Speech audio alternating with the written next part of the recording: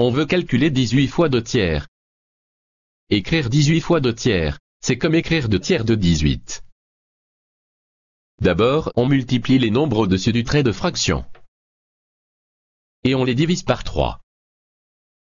On obtient 36 divisé par 3. 36 divisé par 3 égale 12. 18 fois 2 tiers égale 12.